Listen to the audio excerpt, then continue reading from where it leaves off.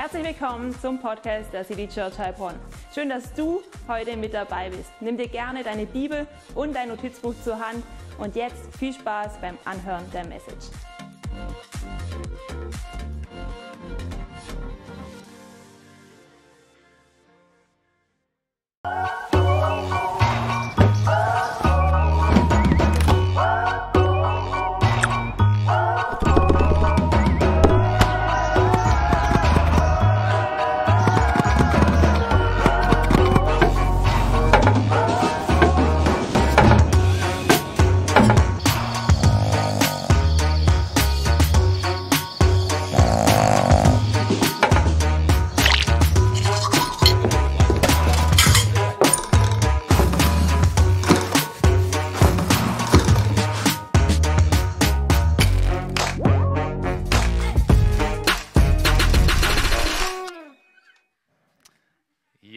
Ganz herzlich willkommen auch von meiner Seite zu unserer neuen Predigtserie mit dem Thema Relationship Goals. Und hey, ich feiere diesen Trailer, diesen kleinen Clip total, weil er irgendwie so auf lustige Weise zeigt, dass die Beziehungen doch in den Kleinigkeiten unseres Alltags gebaut werden, weil es da nämlich darauf ankommt, dass unsere Einstellung einfach stimmt. Hey, und ich möchte dir einfach herzlich willkommen sagen. Danke, dass du hierher gekommen bist. Danke auch online, dass du mit am Start bist.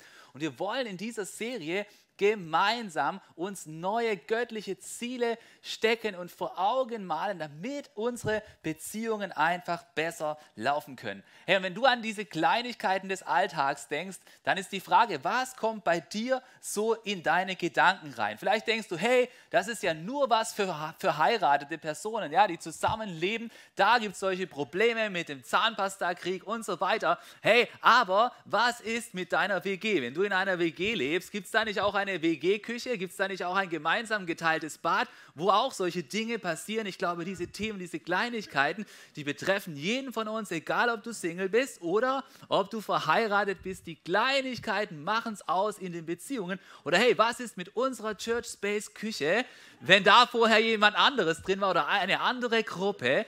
Kommt es da nicht auf diese Kleinigkeiten drauf an? Fragst du dich da nicht, hey, wer hat die Küchenrolle leer gemacht und nicht wieder aufgefüllt? Ich glaube, uns allen passieren solche Dinge und es geht uns manchmal so richtig auf die Nerven und das baut dann unsere Beziehungen oder halt eben nicht. Und deswegen, wenn du gerade nicht mitgemacht hast bei den Gebetsanliegen, dann möchte ich dich jetzt auch motivieren. Zück dein Handy raus, denn ich habe dir eine Frage mitgebracht und mich würde deine Antwort auf diese Frage interessieren. Und zwar lautet die Frage, welche Kleinigkeiten im Alltag nerven dich total bei deinem Partner, wenn du, wenn du einen hast, oder bei deinen WG-Kollegen oder bei deiner Familie. Ja, da kommt jetzt gleich ein Code und du darfst es einfach mal reinschreiben. Mich würde es total interessieren, was ihr da alles so habt an Kleinigkeiten, was eure Geduld so richtig bis zum Ende strapaziert. Und weißt du, bei mir, äh, da sieht es so aus, ich habe eine wunderbare Frau, Columba, sie sitzt hier in der ersten Reihe und du musst wissen, ich bin ein Fan von Ordnung. Ja? Als ich meinen Zivildienst gemacht habe, da wurde mir auch nachgesagt, hey, auf dieser äh, Missionsstation, wo ich dort war in Bolivien, ja, also eins, was er auf jeden Fall gut kann, ist Ordnung machen. Ja, da war so ein Gerümpelraum, ich habe da alles aufgeräumt und alles ähm, picobello hinterlassen.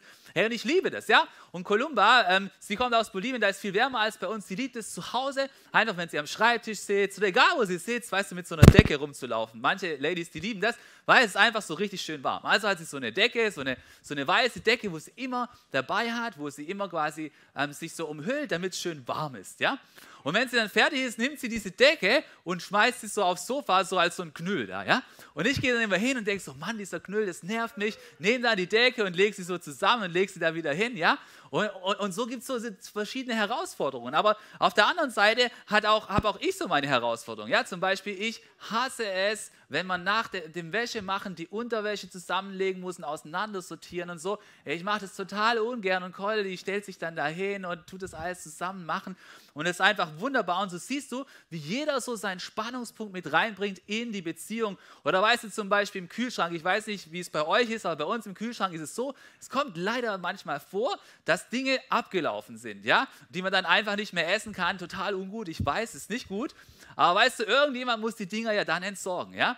Und der Punkt ist zum Beispiel, Cole hat eine viel höhere Toleranz, die lässt es dann einfach stehen Und ich muss es dann irgendwann rausnehmen und ich denke dann immer, hey, warum muss ich immer das Zeug aus dem Kühlschrank rausnehmen, was schon abgelaufen ist, ja? In Church Space sehe ich da übrigens auch die Nummer 1, ja? Also äh, da steht öfters mal noch was von irgendwelchen Gruppen rum, aber das halten wir aus. Und auf der anderen Seite, weißt du, ist es so zum Beispiel, es gibt ja noch das Spezialfach Abstauben, ja, im Haushalt. Wer kennt, wer liebt das Abstauben? Hand hoch.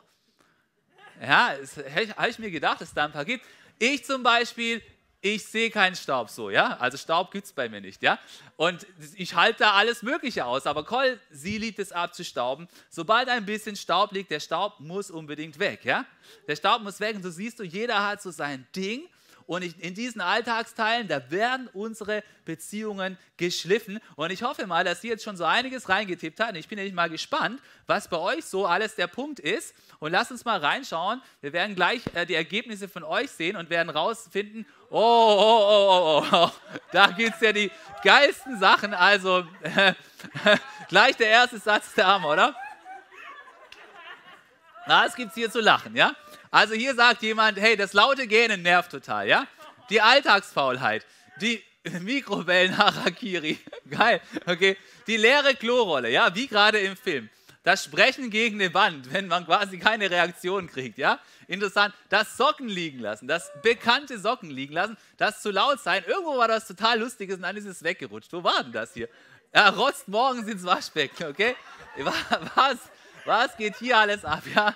Also, das dann steht hier, zu laut sein, ja? Es ist auch fatal, wenn man die Türe so, kennt ihr so Menschen, wo, die, wo, wo zur Türe reinkommen, die versuchen quasi möglichst viel Kraft zu machen. Wow! So, ja? So hat im Prinzip, ich bin da, ja? Ja? Und dann gibt es auch die, die Schleicher beim in die Türe reinkommen. Das ist auch krass. Du merkst gar nicht mal, dass die da sind. Plötzlich stehen da, kriegst einen Herzinfarkt. Ja? Also, hey, du siehst, Du siehst, ey, hier gibt es so viele Sachen, bei denen wir unsere Beziehungen so auf die Probe stellen können, ja? Und, und die Frage ist, wie geht man mit diesen Alltagssachen um? Hey, weißt du, was ich glaube ganz wichtig ist? Äh, es wird immer lustiger, wir lassen es mal noch ein bisschen drauf. Ähm, das, also, weißt du, was glaube ich wichtig ist? Wichtig ist, wir kommen in diesen Punkten, kommen wir niemals weiter, wenn wir mit so einer anklagenden Haltung hingehen. Ja, wenn wir sagen, du legst jetzt deine Decke zusammen, ja? Das war das letzte Mal, dass ich diese Decke für dich zusammengelegt habe, ja? Oder wenn du das nächste Mal den Staub siehst und den nicht abwischst, ja, wisst ihr, dass es nicht funktioniert, ja? Das ist so das Beziehungseinmaleins, obwohl es uns dauernd immer wieder passiert, ja? Sondern das, das Einzige, was, was natürlich funktioniert, ist, wenn du es aus deiner Perspektive formulierst und mit dem richtigen Tonfall, ja? Ich würde es total schätzen, ja? Und dann kommt das, und dann kommt das Problem, ja? Im richtigen Tonfall. Ich würde es total schätzen und dann mit ganz viel Geduld, ja? Ich würde es total schätzen, wenn du die Decke nächstes Mal vielleicht auch mal zusammenlegst. Das wäre das wär richtig cool, ja? Und genau. Und und so kann man das dann vielleicht annehmen und daran arbeiten, ja? Aber alles andere führt nur dazu, boom, boom, ja? Das bringt, bringt überhaupt nichts, ja? Und hey, wir haben, wir haben jetzt ein bisschen losgestartet mit diesen Alltagskleinigkeiten in unseren Beziehungen, ja? Ich glaube, die treffen die Singles genauso, ja, weil die nicht Besuch bekommen, dann haben sie auch so Leute. Kennt ihr so Leute, wo zum Beispiel auf ihrem Teller so, so einen richtigen kleinen Atomkrieg hinterlassen, je nachdem, welches Essen die haben. Und du denkst dann so, ey, sag mal, was ist eigentlich mit denen los? Können die, können die mal das Teller so, so behalten, dass ich nachher quasi nicht mit einem Kercher das abspritzen muss, ja? Aber nein, es gibt, es gibt ja da sehr unterschiedliche Menschen, ja? Und ich glaube, jeden trifft da das ein oder andere Thema. Und das sind so diese kleinen äh, Gewürze, die es in unseren Beziehungen so gibt. Aber wir wollen in dieser Serie natürlich nicht bei diesen Gewürzzutaten stehen bleiben, sondern wir wollen zu den richtigen Hauptzutaten kommen, die eine Beziehung ausmachen.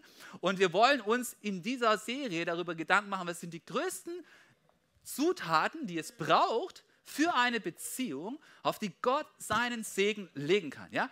Darüber wollen wir uns Gedanken machen. Was ist die größte Hauptzutat? Hey, und ich glaube, die größte Hauptzutat für eine Beziehung, auf die Gott seinen Segen legen kann, über die hat Jesus schon gesprochen und ich habe euch einen Vers mitgebracht, der steht in Matthäus 6, Vers 33. Wir werden uns gleich gemeinsam durchlesen und da steht folgendes, schaut mal, da steht dieser Satz, setzt euch zuerst für Gottes Reich ein und dafür, dass sein Wille geschieht, dann wird er euch mit allem anderen versorgen.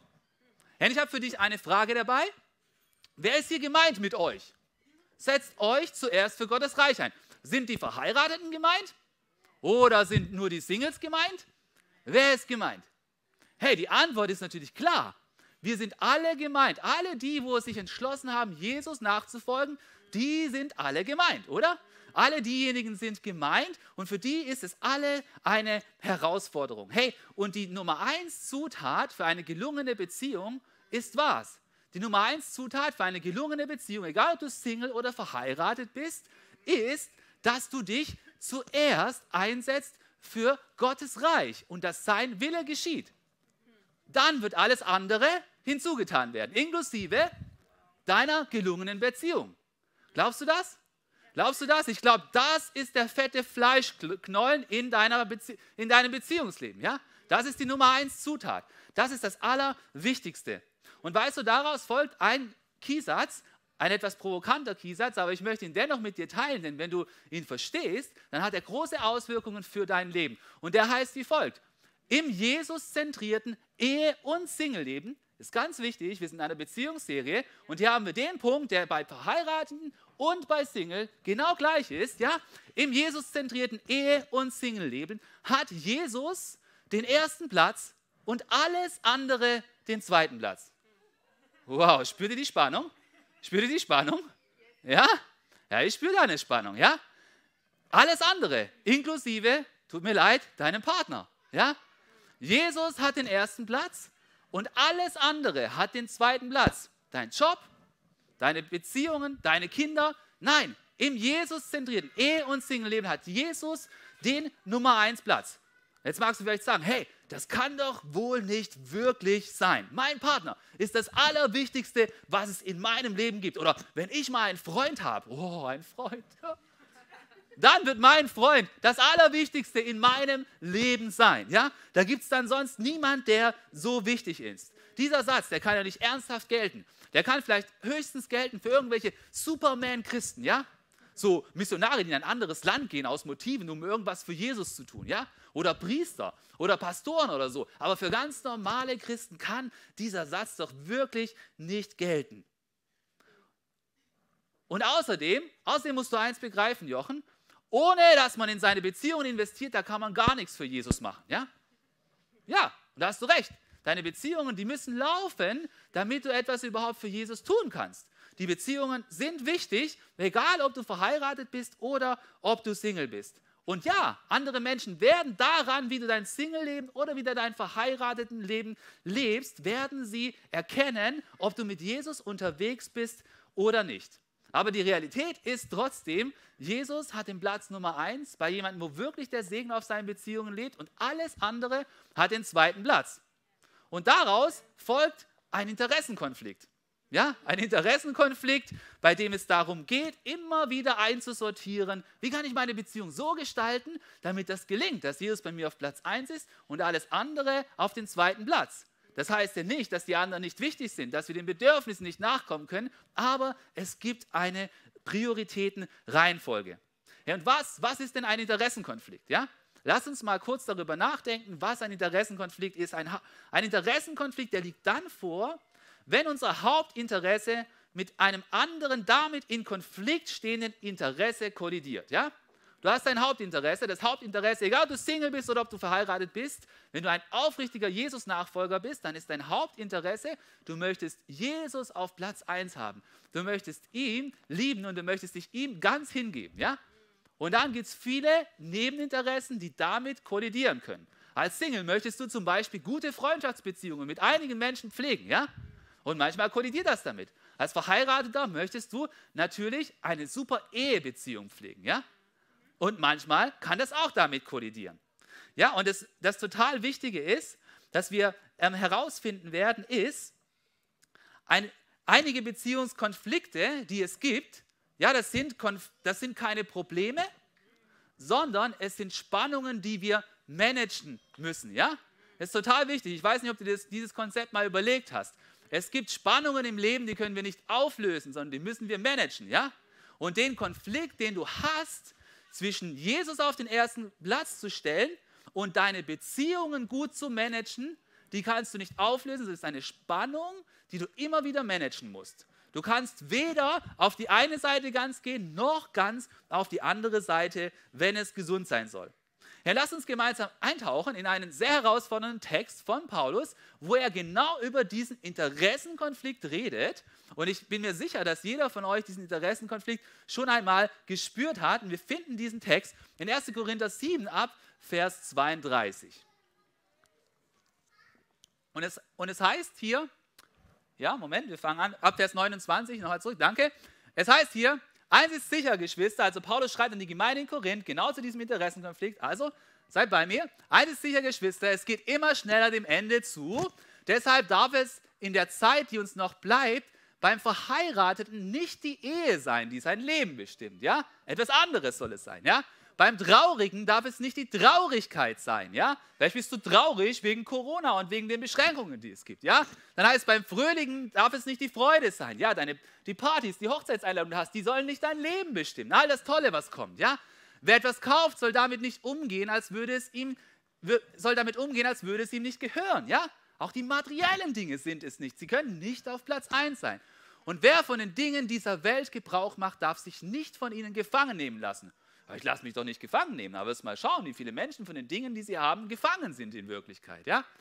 Denn die Welt in ihrer jetzigen Gestalt ist dem Untergang geweiht. Wow, Paulus blickt hier ziemlich direkt durch. Ja?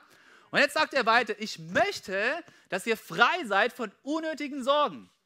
Er könnt ihr mal mitmachen sagt mal, frei von unnötigen Sorgen. Frei von unnötigen Sorgen. Come on, das ist das, was Paulus sich wünscht. Paulus möchte, dass wir frei von unnötigen Sorgen sind. Ja? Wir alle machen uns immer wieder allerlei unnötige Sorgen. Und deswegen heißt es jetzt hier, und jetzt, jetzt spricht Paulus zu den verschiedenen Beziehungskonstellationen, die es so gibt. Ja? Er sagt, wenn ein Mann ledig ist, gilt seine ganze Sorge der Sache des Herrn. Er bemüht sich so zu leben, dass der Herr Freude daran hat. Hey, das soll unser Ziel sein, dass Jesus auf Platz 1 ist. Und dann heißt es weiter, aber wenn er verheiratet ist, bemüht er sich auch seiner Frau Freude zu machen. Daher sorgt er sich auch um Dinge, die zum Leben in dieser Welt gehören. Normal, oder? Ja? Dann geht es weiter in Vers 34 und das führt dazu, dass seine Interessen geteilt sind. Da haben wir ihn, den Interessenkonflikt, ja? Den Interessenkonflikt im Fall von denen, wo verheiratet sind, ja? Dann heißt es weiter, und genauso ist es bei der Frau. Wenn sie noch nicht verheiratet ist oder wenn sie keinen Mann mehr hat, gilt ihre ganze Sorge der Sache des Herrn. Sie möchte ihm dienen mit allen ihren Gedanken und mit allem ihren Tun, ja? Aber wenn sie verheiratet ist, sorgt sie sich auch um irdische Dinge. Sie bemüht sich, um ihrem Mann Freude zu machen. Ich sage das in eurem eigenen Interesse, ja? Pass auf, Paulus will uns nicht auf die Nerven gehen, ganz wichtig, ja? Ich sage das in eurem eigenen Interesse, nicht um euch in eure Freiheit einzuschränken, sondern was will er? Was ist die Zielsetzung? Er sagt, vielmehr will ich euch helfen, das zu tun, was gut und richtig ist und dem Herrn unbeirrt und damit ungeteilter Hingabe zu dienen. So, um es gleich vorweg zu sagen, nein, Paulus will in diesem Text nicht sagen, dass wenn jemand verheiratet ist, dass er dann die B-Option gezogen hat. Ja? Das will er nicht sagen. Paulus will nicht sagen, dass es besser ist, unbedingt für alle Single zu bleiben. Ja? Wer das so liest, der hat den Text nicht ganz verstanden sondern was Paulus möchte, er möchte, dass wir uns Gedanken darüber machen, dass wir uns keine unnötigen Sorgen machen, egal in welcher Beziehungsgestalt wir gerade sind. Ob wir Single sind, können wir uns unnötige Sorgen machen, safe, ja? Und wenn wir verheiratet sind, können wir uns auch unnötige Sorgen machen. Nein, Paulus fasst im letzten Vers von diesem Abschnitt nochmal zusammen, was er eigentlich möchte mit diesem Text. Er schreibt, Vielmehr will ich euch helfen, das zu tun, was gut und richtig ist. Hey, das will ich auch. Ich will das tun, was gut und richtig ist und dem Herrn unbeirrt und mit ungeteilter Hingabe zu dienen. Hey, in anderen Worten, Paulus möchte genau das sagen, was in unserem Kiesatz steht. Ja? Er möchte nämlich, dass in einer Jesus-zentrierten Ehe und Single-Leben Jesus den ersten Platz hat, dass wir das begreifen und alles andere den zweiten. Das ist das Thema von diesem Interessenkonflikt. Das ist das, was Paulus uns nochmal vor Augen führen möchte. Hey, und was heißt das jetzt, wenn du zum Beispiel Single bist? Was heißt das, dass du diesen Interessenkonflikt gut managst? Ja, deine Nummer eins Sorge, die soll bei Jesus sein und wie du etwas für sein Reich bewegen kannst. Ja, das bedeutet, du sollst dich nicht die ganze Zeit fragen, wann kann ich endlich eine Beziehung anfangen? Dann wird mein Leben so wunderbar werden. Meine Schmetterlinge werden noch toller fliegen und es wird einfach glorreich werden, ja? Du sollst auch nicht überlegen, oh, wie kann ich nur mehr Kontaktfläche mit meinem angehimmelten Partner im Wunschtraum kreieren? Wo kann ich noch irgendwo bei einer Church-Aktivität teilnehmen, wo er auch ist? Wie kann ich noch es arrangieren, dass ich dabei bin und seine Aura spüren kann? Nein, das soll nicht deine, das soll nicht dein Wunsch Nummer eins sein, ja?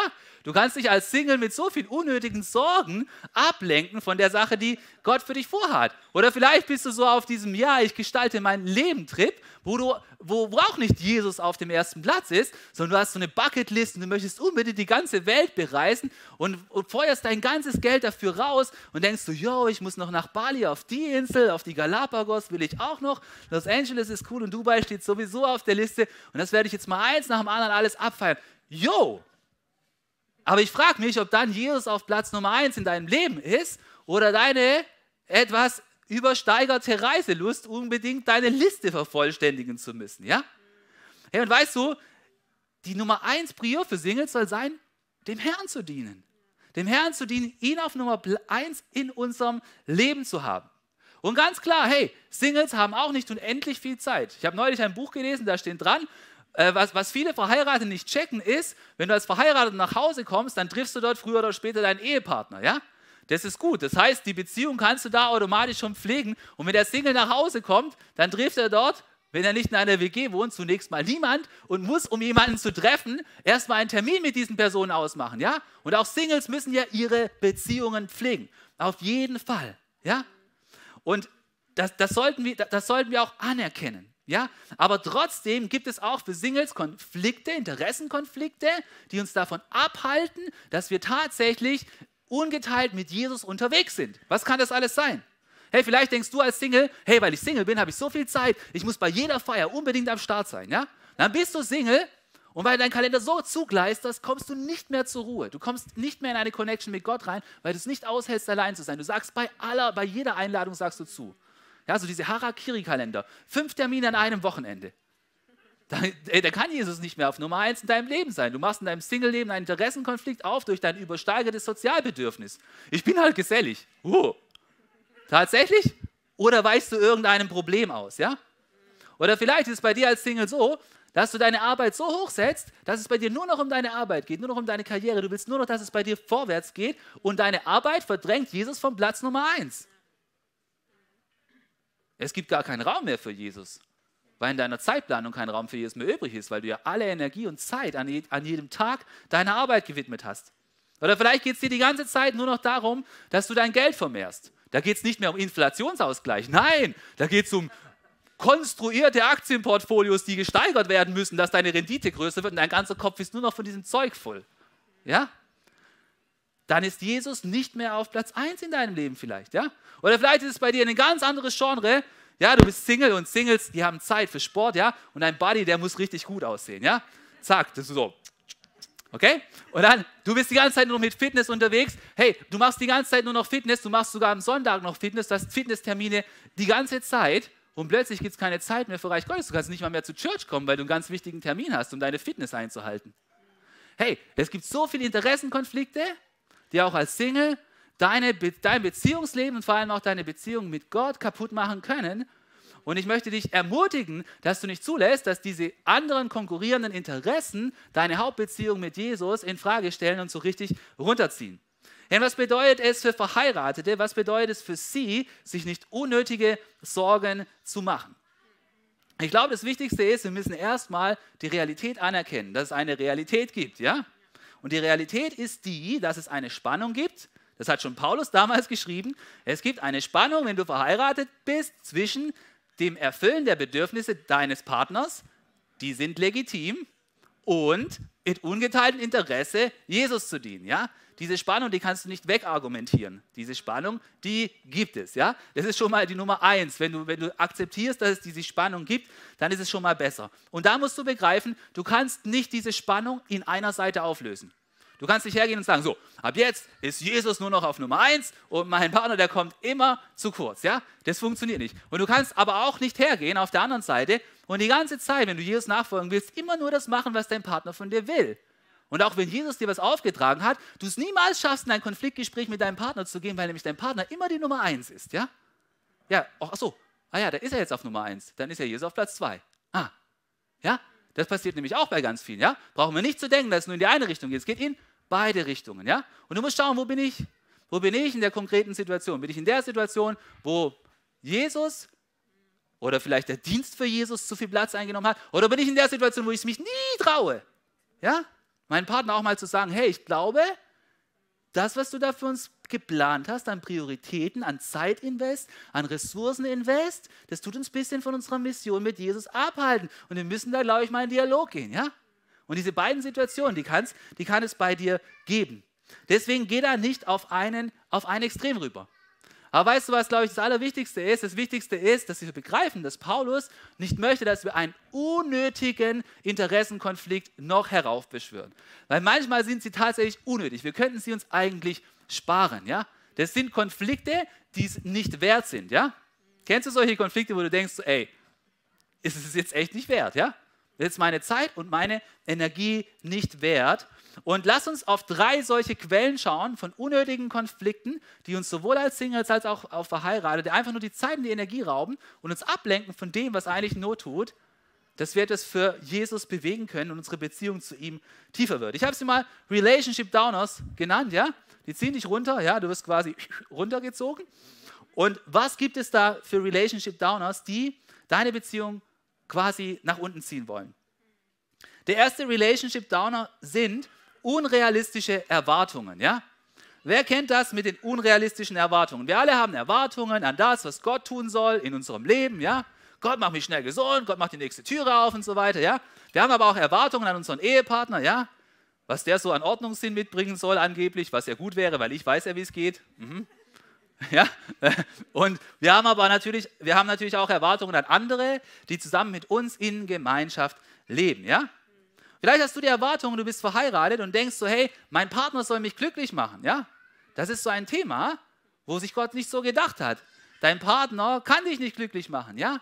Sondern du musst dich selber dafür entscheiden, in deiner Beziehung mit Gott glücklich zu werden. Und dann kannst du in deiner Beziehung gegenseitig könnt ihr dann euch bereichern. Aber dein Partner ist nicht das Objekt, das dich glücklich macht oder die Person. Das funktioniert nicht. Da kannst du mal ganz tief drüber nachdenken.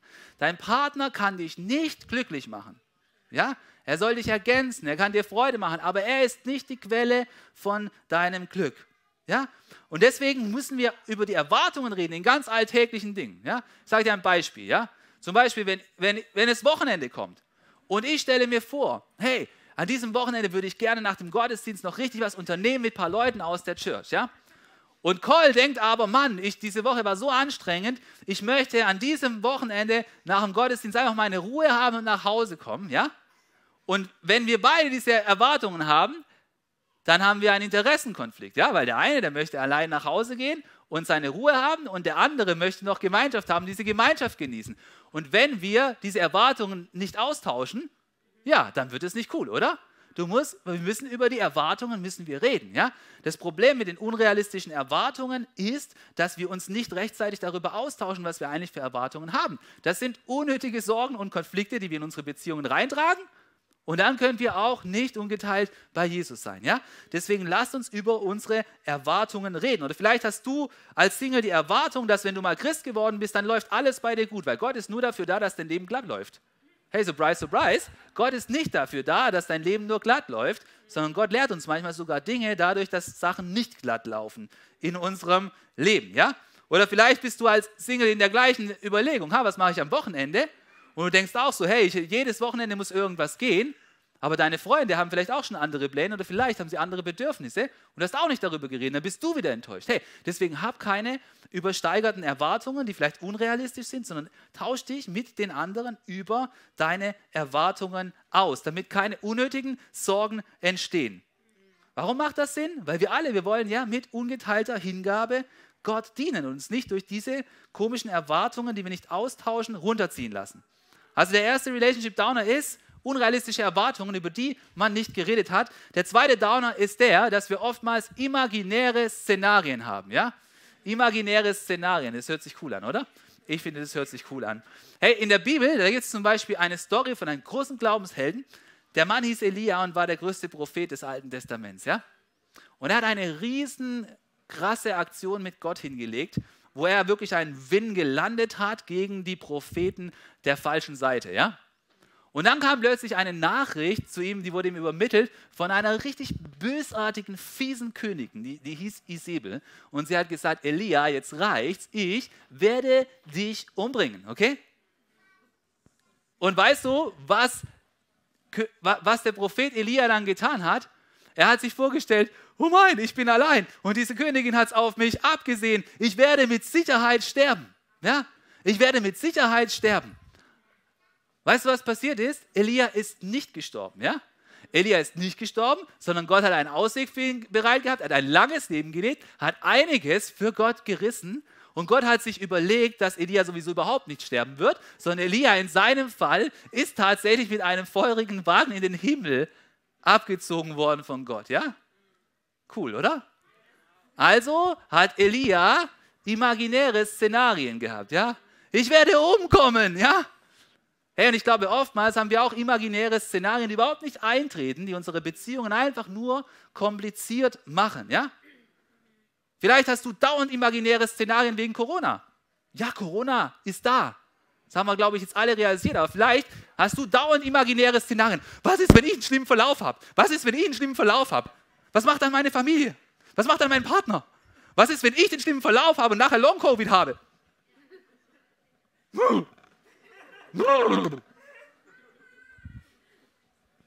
Jetzt mal ganz ehrlich.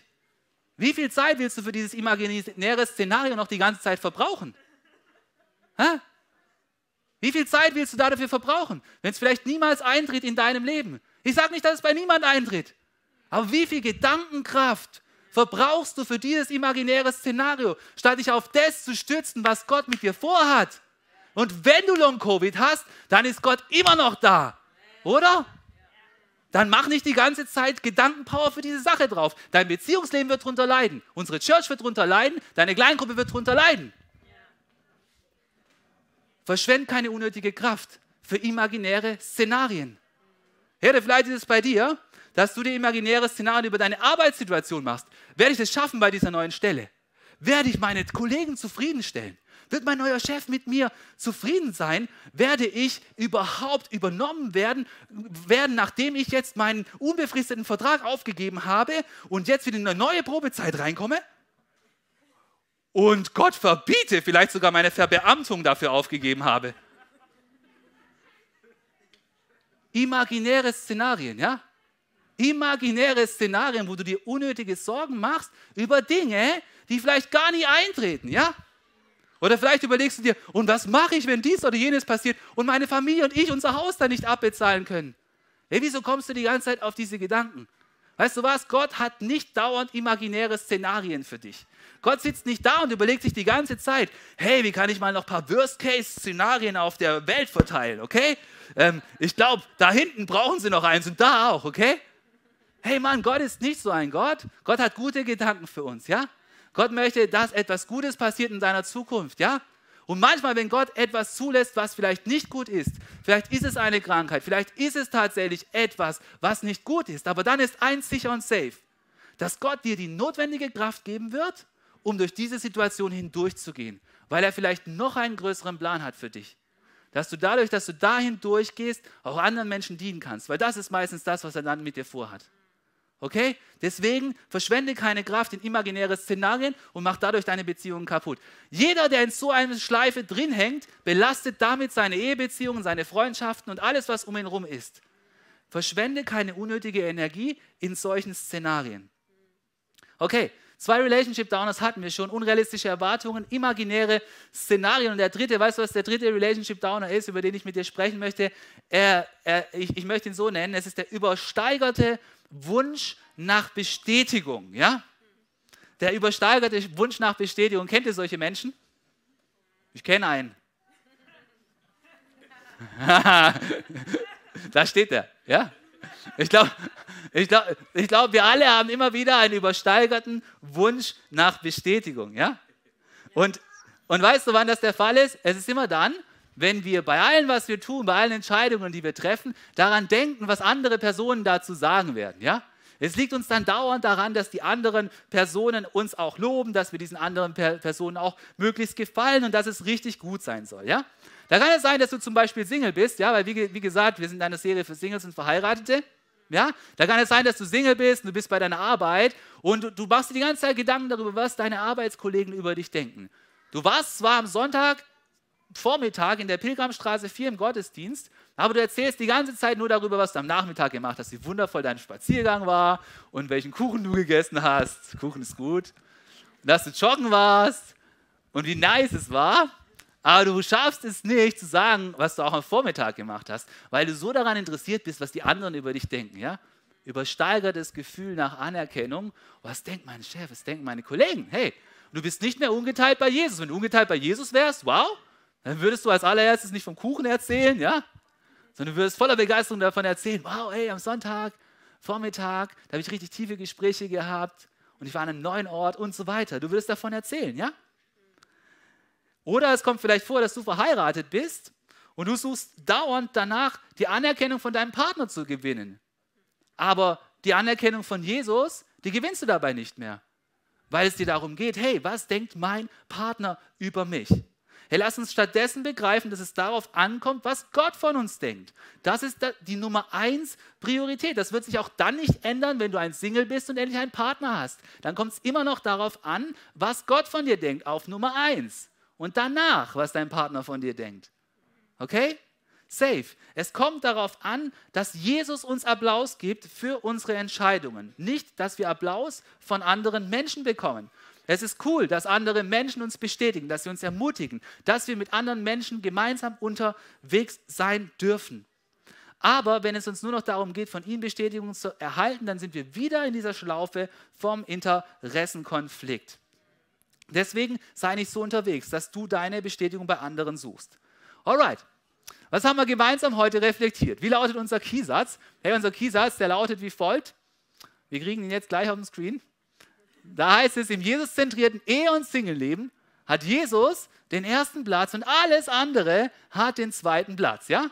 Und daraus kommt es dann immer wieder zu Interessenkonflikten, ja, sowohl bei Singles als auch bei Verheirateten, denn wir haben das Bedürfnis und wir haben Verpflichtungen, die uns Jesus auf dem ersten Platz strittig machen. Wir alle haben solche Bedürfnisse und solche Verpflichtungen, die sich immer wieder auf den Platz 1 schleichen wollen. Und deswegen ist die Lösung nicht, dass wir diese Bedürfnisse ignorieren. Nein. Kommt, geht nicht aus, heute aus dem Gottesdienst raus und sagt, hey, äh, Jochen hat gesagt, wir sollen nicht mehr auf die Bedürfnisse von unserem Partner eingehen. Das ist nicht, was wir heute besprochen haben, ja? Sondern wir haben darüber geredet, dass es da einen Interessenkonflikt gibt, den wir managen müssen, ja? Wir, wir dürfen diesen Interessenkonflikt managen so, dass die Prioritätenfolge gewahrt bleibt. Jesus ist auf Platz 1. Ob du gerade datest, in einer Beziehung bist oder verheiratet bist. Das wird ein Challenge sein. Aber das ist das Ziel für einen Jesus-Nachfolger. Und dazu ist es notwendig, dass wir den unnötigen Interessenkonflikten, dass wir denen keinen Raum geben, weil sonst werden wir mit diesem Hauptinteressenkonflikt schon gar nicht klarkommen. Stattdessen wollen wir Jesus auf Platz 1 behalten, egal in welcher Beziehungsphase wir gerade sind. Ja, und weißt du, diese Herausforderung, die ist natürlich nicht neu, sondern die gab es schon zu Zeiten von Jesus. Und schon damals haben seine Nachfolger immer wieder die Spannung gehabt, wie kann ich Jesus auf Platz 1 halten und wie kann, wie, wie kann ich trotzdem meine Beziehung gesund pflegen. Und weißt du, einmal ist Jesus in ein Dorf gekommen, er war so unterwegs, du weißt, er hat überall gepredigt und er ist in ein Haus eingekehrt und da waren viele Gäste. Und es gab natürlich auch, ähm, es gab natürlich auch Hauseigentümer, ja? Und da war genau wieder diese Situation von diesem Interessenkonflikt. Ist Jesus jetzt die Nummer eins oder sind die unnötigen Sorgen, ja, Beton liegt auf unnötig, unnötigen Sorgen kommen die auf Platz eins?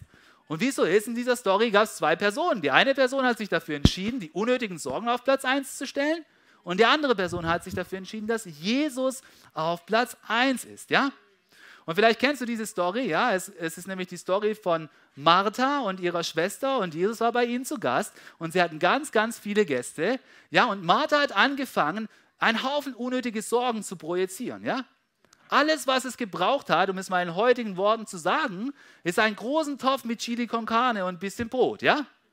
Aber Martha hat daraus ein Riesending von unnötigen Sorgen gemacht, ja. Sie hat angefangen, ein riesen Essen zu produzieren mit drei Gängen, ja, mit Aperitif und äh, Hauptgang, vegetarisch und mit Fleisch und dann jeden Mal den Tellerwechsel und die Bestecke von außen nach innen abgegessen, ja, und dann die verschiedenen Getränkesorten, drei verschiedene Weine, ja, ein französischer, ein weißer, ein roter, äh, Softgetränke, äh, alkoholfreie und äh, Wasser und sprudelnd und still und äh, alles musste gemanagt werden. Und dann noch meine blöde Schwester, die mir nicht dabei hilft, ja unnötige Sorgen.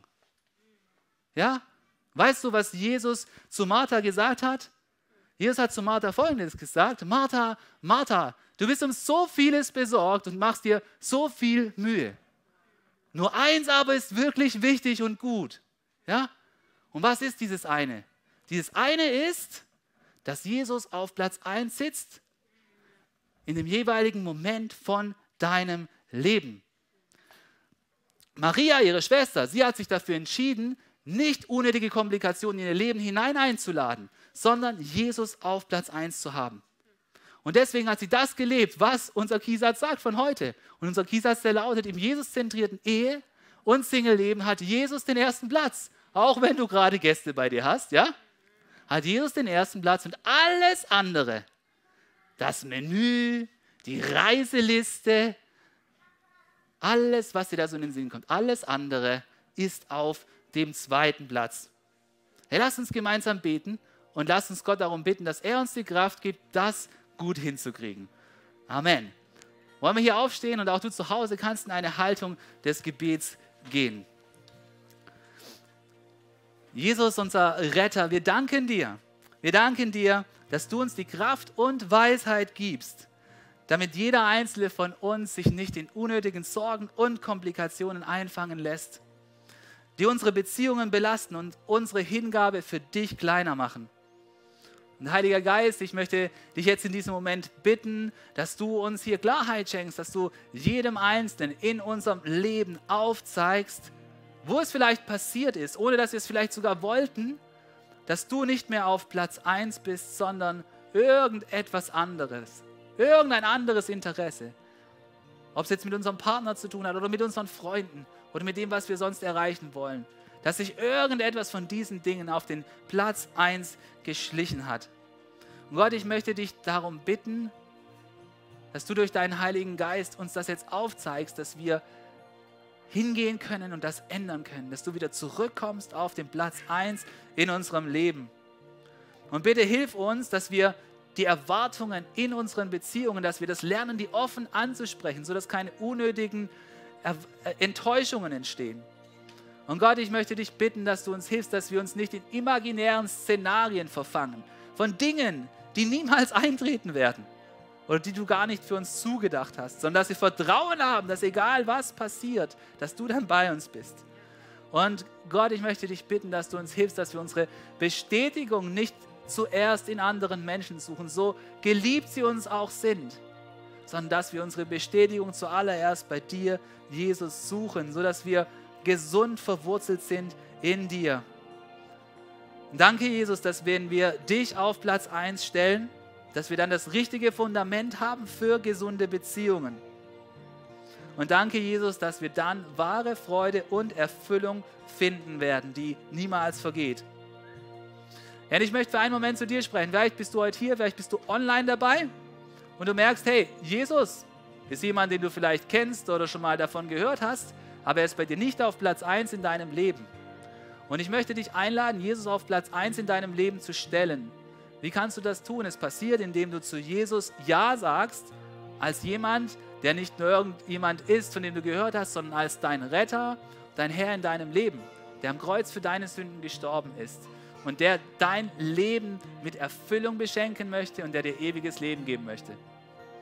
Und wenn du merkst, dass heute dieser Tag ist, wo du so eine Grundsatzentscheidung treffen sollst, nicht andere Dinge, sondern Jesus auf Platz 1 zu stellen, dann bete mit mir einfach das folgende Gebet in deinem Herzen mit.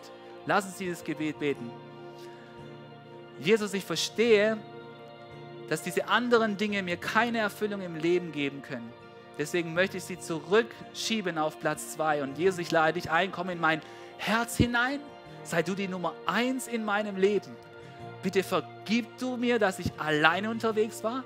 Vergib du mir meine Sünde und, und mach ein neues Leben in mir jetzt bereit. Jesus, ich möchte dich einladen, dass du in meinem Leben Raum nimmst, dass du derjenige bist, der die Richtung bestimmt, dass du in meinem Leben die ungeteilte Aufmerksamkeit hast. Jesus, danke, dass jetzt ewiges Leben ein Geschenk ist, das ich empfangen darf. Jesus, danke, dass bei mir jetzt etwas Neues anbricht. Danke, dass du mir jetzt Frieden schenkst in mein Leben hinein. Und danke, dass dieser Friede sich auf alle meine Beziehungen ausbreiten wird. Ich bete im Glauben und sage Amen. Amen. Hey, wenn du ein Gebet des Glaubens gesprochen hast, um Jesus auf Platz 1 in deinem Leben zu stellen, dann kommt es nicht auf die Worte drauf an, sondern darauf kommt es an, dass in deinem Herzen etwas passiert ist. Ich möchte dir gratulieren, wenn du so ein Gebet gesprochen hast, egal ob du hier bist oder online. Ich möchte dich ermutigen, dass du auf uns zukommst. Hier hinten haben wir ein Kreuz stehen, da kannst du mit uns ins Gespräch kommen. Wir würden voll gerne für dich beten. Jetzt lass uns gemeinsam in einer Haltung der Anbetung bleiben und Gott nochmal gemeinsam groß machen. Was für eine Ehre, dass du dir den Podcast der City Church Heilbronn angehört hast. Wir glauben daran, dass das Wort Gottes die Kraft hat, dein Leben zu verändern. Wenn dir dieser Podcast gefallen hat, dann teile ihn gerne auf Social Media. Unser nächster Podcast wird nächsten Sonntag um 17 Uhr verfügbar sein. Gerne kannst du diesen Podcast auch kommentieren und abonnieren, damit du keine weitere Folge mehr verpasst. Jetzt denkst du vielleicht, oh, das war es jetzt, aber nein, lasst uns jetzt das Gehörde in die Praxis umsetzen. Bis zum nächsten Mal.